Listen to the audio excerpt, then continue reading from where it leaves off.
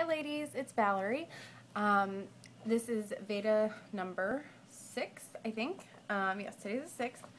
Uh, I'm going to be sharing our birth plan, and I hope I can do this in less than 10 minutes. It might not happen, but um, we took our, you know, our Bradley classes, and class number seven was about planning for your labor and birth. We actually didn't spend too much time on it in the class, but um, the book did have just some helpful, um, you know, guidelines, and our um, our instructor gave us a sample, um, you know, birth plan to kind of follow. The best way um, and the best outline way that I saw was the one that she provided, where you kind of um, list the categories on the side here, and then list your your preferences on that side.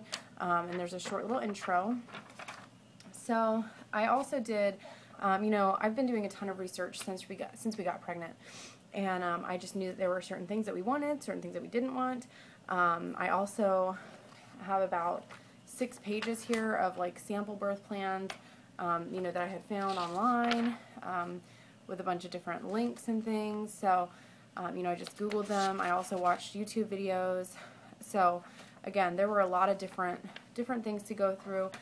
When writing your birth plan, I would just suggest, again, um, maybe jotting down, again, I first jotted down on some notebook paper, um, you know, some things that I knew that we wanted and some things that I knew that we wanted to include. And then, again, I looked up online and looked at some samples and, you know, YouTubed. So, um, I really honestly didn't even look at this book while I was planning, but um, basically it just says know your options. So again, research, examine your feelings, you know, think about what's most important to you and your husband. Um, you know, write out your birth plan and consider your priorities. Um, they say start with a positive statement, list your choices in order of importance, most important first. I don't think that I did that, but because um, all of it's important. Um, evaluate your situation. Are your choices realistic? Um, are most of your preferences openly supported by your birth team? If not, will you compromise or make other arrangements? Um, meet with your medical professionals. This is something that we actually have our midwife appointment tomorrow, and she asked us at our last appointment if we had um, written a birth plan yet, and so I told her no. I said we were working on it, um, and that we'd bring it next time, so that's tomorrow. So that's why I thought this would be an appropriate time to do this one. Um, prepare for a positive experience. Um, you know, you want to write your birth plan as you know as if it's going to happen. You know, but you do want to be realistic, I think, and, you know, you want to be flexible. So, um, you know, the most important thing really is a healthy mom and healthy baby. Um, however, there are things that you can do. Um, you know, a healthy mom uh, with good nutrition and, um, you know, low risk, you're obviously going to have more options than somebody who is a little bit more unhealthy. You may have more risk factors.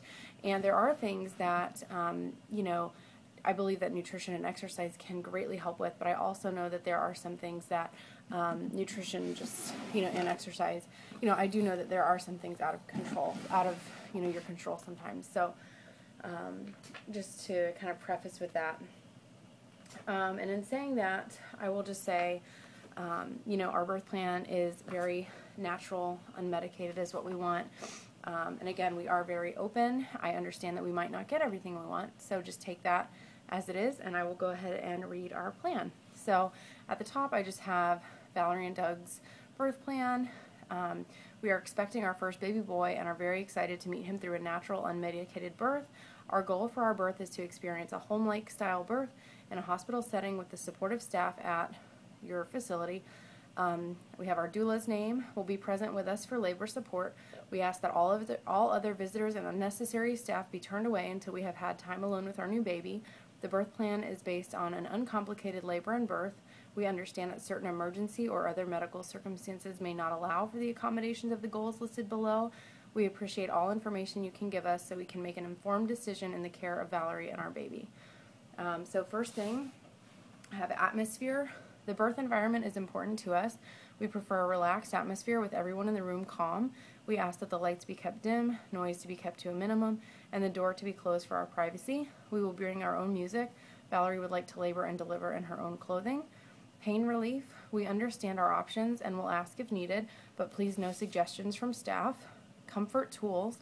We would like to access the birth pool, shower, extra towels, and supportive words from those in the room. Valerie prefers to eat and drink freely to sustain her energy throughout labor and delivery. IV, no IV. Valerie will consent to a HEP lock if necessary. Valerie prefers not to have a catheter unless determined to be required for another procedure to facilitate delivery. Monitoring, intermittent monitoring throughout labor and birth. Limited cervical checks only as requested by Valerie. Pushing, Valerie would like to push spontaneously. Coaching may be appreciated during the crowning phase to help minimize tearing. She will ask for help as needed. Valerie wants to birth in the position that is most, most comfortable and effective for her, such as squatting, kneeling, or standing, etc. The birth, no episiotomy unless baby is in distress. Valerie Doug would like to catch the baby if appropriate, and Doug would like to help place baby skin to skin on Valerie immediately. Doug would like to clamp and cut the cord after a generous delay until the cord has stopped pulsating.